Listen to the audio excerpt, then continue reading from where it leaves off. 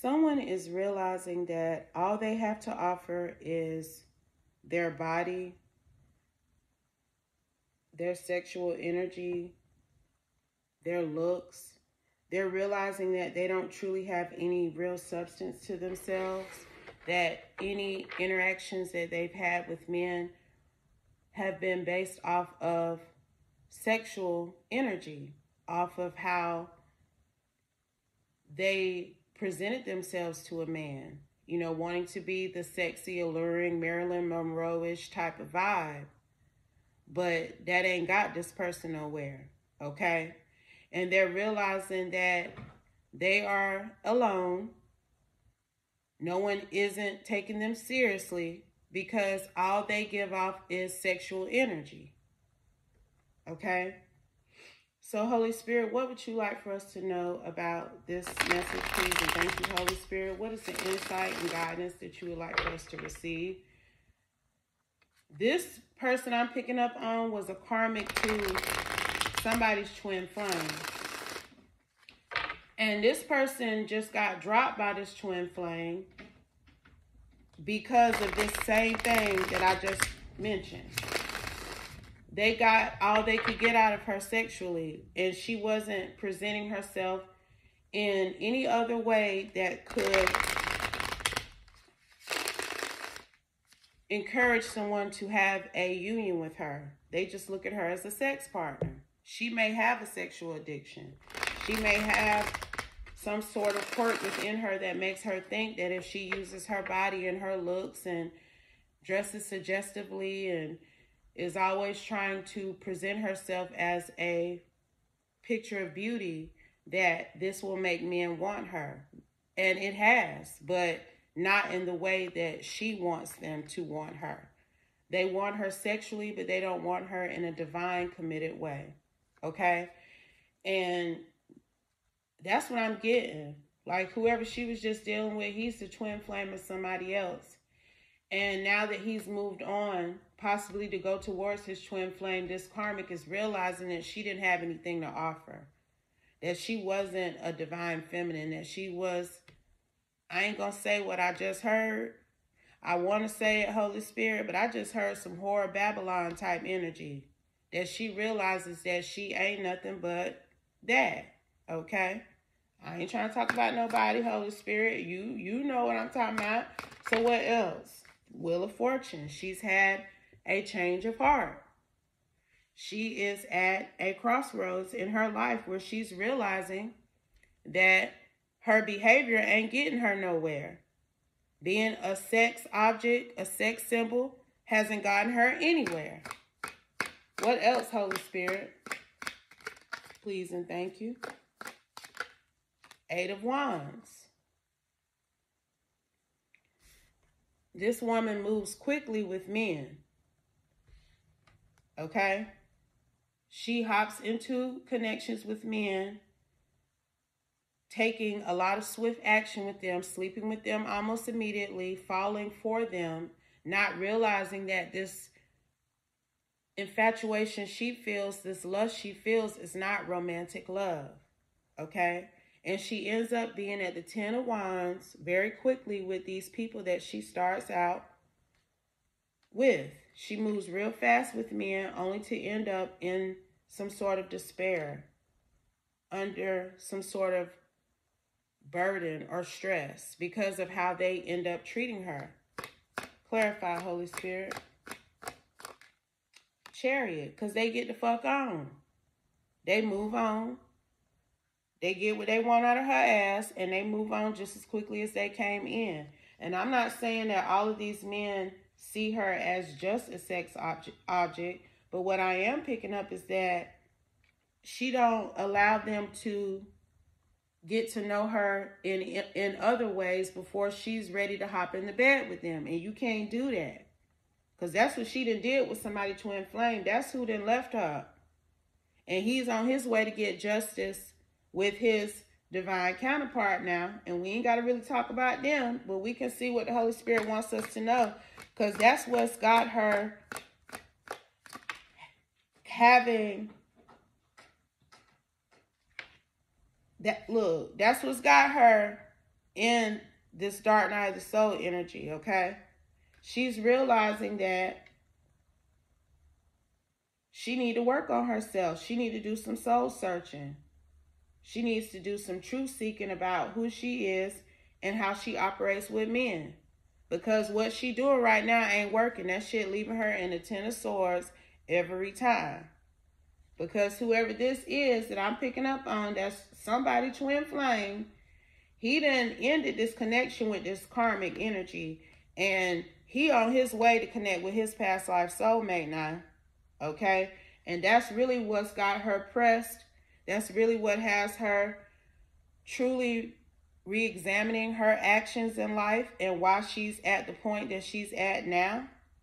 Because she could she for a minute there was not understanding why these men were giving up on her.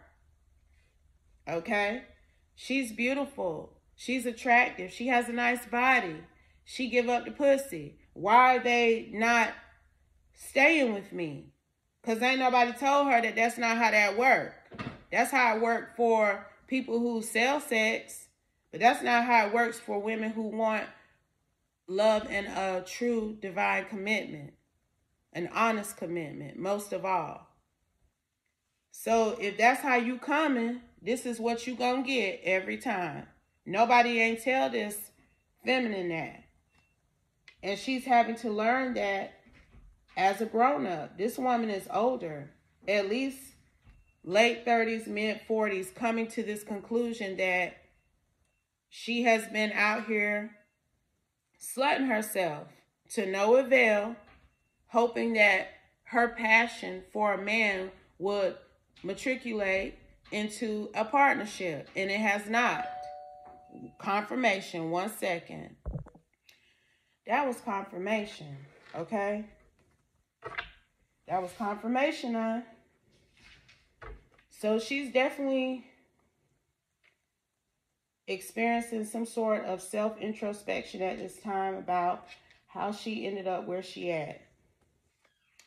And she realizing she can't get mad at nobody but herself.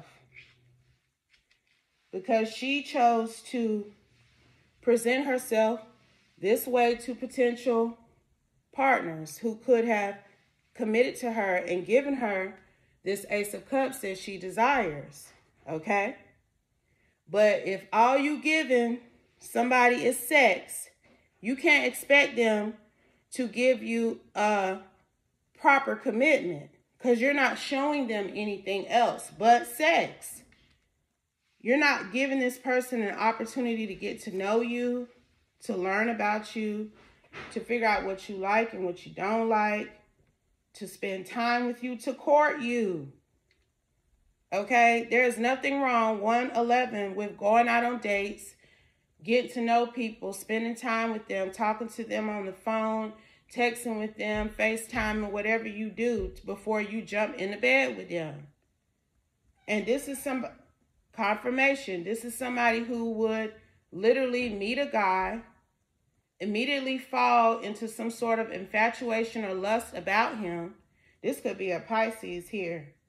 I don't know why I said that, but Pisces have that vibe. Pisces can fall head and head over heels in love with somebody and not realize that what they're feeling is infatuation. It ain't love. And this is that person's energy. And they have an Ace of Cups and an Ace of Wands that they can give to somebody. But it's how they present themselves and it's how they give it up so quick before they let anybody truly get to know them and understand who they are. Okay? So this King of Pentacles is this divine masculine. And she mad because he, I'm telling y'all, he didn't left her. And he is going towards his Six of Cups to give them this Ace of Wands, King of Pentacles commitment, and this Ace of Wands. That's what he about to go do. And she's upset about that because she was hoping and had faith that he would give that to her. But he's not. But this is was a wake-up call. The world this was a wake up call for this karmic energy to stop this toxic cycle. We had two fives back to back, five of pentacles and five of swords. It's time to make some pivotal changes in her life. And she knows it because of how this man dropped her ass. I'm talking about he dropped her child. And she's still shocked because this is somebody who is used to people telling her how pretty she is, how good her body look, okay, how sexy she is. It's some, I'm telling you, this a Pisces.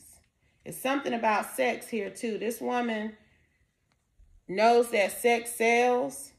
I don't feel like she was selling no sex, but she definitely used sex to get people to have a new perspective on her. But all the, the perspective that they gained about her was that she was easy. That she might even be a nympho. It's really giving that, that she got some sort of codependency issue. That's what she's even realizing about herself, y'all. Hangman falling right up under the hermit. She's realizing that she need to let go of that behavior. She needs to surrender this mindset that because she's beautiful she's attractive, that she can have any man she wants. Or that she can make any man fall for her because that ain't what been happening now. They might fall for a time, but they ain't sticking in there. They ain't even trying to stick in there. It's really giving like hit it a few times, maybe for about a month good, and I quit it. That's what they be doing. And I feel like this King of Pentacles did the same thing. Fool, what I just said, hit it and quit it. They leave this Pisces energy in the dust. They these men may even put their block up to her after they sleep with her. And she can't understand why they are treating her this way. Because I'm telling you, this is somebody who grew up hearing all their life that they were beautiful. This is somebody who felt like their looks could get them anything that they wanted. And again, she's starting to look back at her life and see that in actuality, what she was taught about who she is and how she looked and her sex appeal and her alluring ability, that shit is false. She is looking back at her life and she's seeing that this is not what works for me. This really hasn't gotten me anywhere. I don't see any real solid results as a, of as a I don't really see any results from my behavior and I need to stop. That's what she's telling herself. She sees that if anything, it's restricted her because word getting around. Word and got around about whoever this Pisces is, okay? And I don't care how many pictures they post. I don't care how fly they look. It's getting to the point where men are not fucking with her like that because they know what come with it. Five of Wands. They know this woman is dealing with some sort of inner conflict, that the sex ain't even worth it, that they will be up under some sort of tension, some sort of conflict they will experience fucking with her. So what's what I'm also picking up is when these men reject this Pisces, she gets upset and she throws fits when they don't want to fuck her no more because the five of wands is falling right up under the ace of wands. So this is also why word is getting around like that that sex ain't even worth all the stress. Because she gonna want you to wipe her up even though she out here putting it out to everybody. And then when you don't wipe her up she gonna be trying to flip on you and cause drama for your life. Now that's the word that has gotten around about this pisces.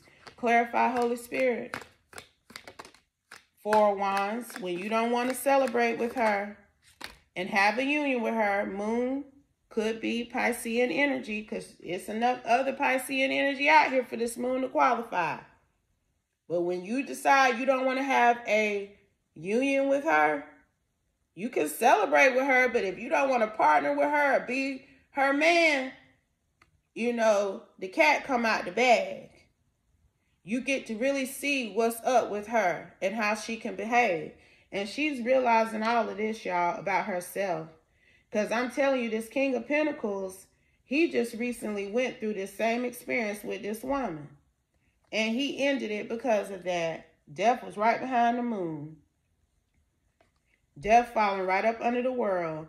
Whoever this Pisces is, she made this man realize that he was truly doing an injustice to himself by being with her instead of going over to his divine opportunity and making things right with them. Okay? That's what he didn't realize dealing with this Pisces. And I feel like if this is the final connection for her that is getting her in alignment, that's making her realize and understand that this behavior is not going to work for her anymore. It hadn't worked for her really at all. And it's time to have a new perspective and present herself in a new light to everybody. To not flip out on men because they don't want to be your man after you didn't gave up the draws within the first night or two of you meeting them. I'm telling you, she don't waste no time now. She ain't waste no time giving it up to this King of Pentacles. Anything else here, Holy Spirit? Lovers, I'm telling you, it's something about being this sex goddess vibe. Thinking that she can woo any man to be with her, want her, desire her. But she not keeping herself up on no pedestal. She laying on her back and opening up her legs to any man damn near who desires her. And I'm telling you, word and got around. And this King of Pentacles, I was picking up that he just slept with her and left her. But this King of Pentacles may have even tried to pursue some sort of partnership with this Pisces. Clarify, Holy Spirit. And it backfired on him. That's why he really running King of Cups. That's why he really running over there to go be with his twin flame. Okay? Because he tried to give this woman more respect than she was asking for. And something went left, honey, with this moon to the death. But I'm telling you, I, I pick up that she flips out. She gets upset when men don't want to continue on with her after they done got the draws, got in her draws, and she want to go to flipping out and get mad like, I'm pretty, I'm sexy, I'm beautiful. You should want me. You should want to be in a partnership with me. Why don't you want to be with me? That's her that's her vibe. That was her vibe now. But she's realizing why these lovers of all kinds ain't sticking with her. She getting it. And this King of Pentacles connection was the trigger that has helped this woman finally learn her karmic lesson. That's why I tell people we are put in people are put into our lives and we are put into other people's lives to teach them lessons a lot of times to help them learn what they need to learn, understand what it is that they need to understand so they can move forward in the right way, the right the way that they're being divinely guided to move, okay? And this King of Pentacles, King of Cups connection with this Pisces, Pisces has shown her that she needs to move in a different direction. His attempt to partner with her, however he chose to do that, has taught her that sex don't sell like she think it do. It don't. It don't now because if sex truly sold in the way that she thought it did, she would have been married. She'd have been wifed up 12-12. She wouldn't have been going from man to man, dingaling to dingaling, trying to find a partner. Because that's what she was doing prior to meeting this King of Pentacles, 1221. And he's been the trigger for her to start doing some soul searching and figure out how she can change her perspective about beauty, about looks, about sex, and truly understand what a romantic love partnership entails. Because it ain't just sex, okay? Because I'm telling you, this man going towards his Empress. The Empress card was just sitting right here on the bottom. whatever he learned dealing with this high priestess then woke his ass up too now. Because he was unable to decide about his twin flame. But whatever he went through with this Piscean feminine here, let him know that he better go on over there and get with his real woman, his true divine counterpart. And this man is making plans, plans, progress, making decisions, foresight, travel plans. He may have to travel to get to this empress and not right up the street or 15 minutes down the road. These there's some distance between him and his divine feminine, but this man is making preparations to go towards her when at one point he was on the fence. But I'm telling you, this Pisces was his wake up call as well. And he he in gear. Look, he getting ready to set sail now. So that connection between those two people are over. Anything else, Holy Spirit? Ten of Cups. And the universe is encouraging this Pisces energy to focus on her own happiness. 1414. Focus on what is truly going to fulfill her. Inner happiness. Work on having harmonious, blissful relationships with men that don't include sex. Like she's going, King of Swords, she's going to have to really try to reacclimate herself so that she can meet a man who won't cut her off after he gets some trim and leave her in regret. Because I look, that's what they be doing now. I'm telling you. She may even consider speaking to a professional, a therapist, collaborating with some sort of wise counsel to figure out why she behaves the way that she does and a new plan of action for her life so that she can receive a solid offer in the future. Okay? And I'm dropping the mic, y'all. I'm dropping it. I hope this message helped someone. I hope it gave you insight and guidance on how you should move forward. Okay? But always remember, y'all, if it doesn't apply, please let it fly. Take only what resonates, leave the rest, and I'll be back soon with another one. Peace, y'all.